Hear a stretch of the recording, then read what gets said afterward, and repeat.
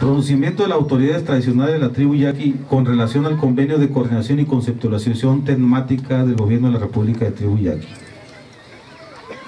Manifestamos que con este pronunciamiento del gobierno de la República se nos hace recobrar la confianza en su administración en virtud de que se empiezan a cumplir el convenio firmado en Bucareli el 21 de enero pasado. Por ello, nuestra autoridad tradicional, en consenso con nuestros pueblos, hemos tomado la terminación de una tregua en nuestra protesta pública de manifestarnos en la carretera internacional.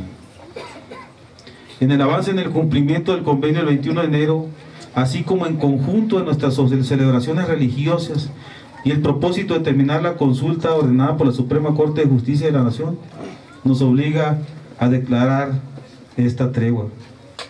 Lo anterior permitirá que se eviten las molestias que se causaron a los automovilistas en este tramo carretero.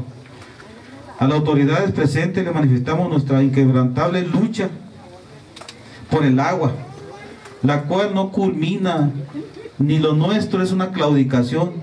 Asimismo, esperamos que se nos siga cumpliendo el convenio firmado el 21 de enero pasado en todas sus cláusulas y en su espíritu.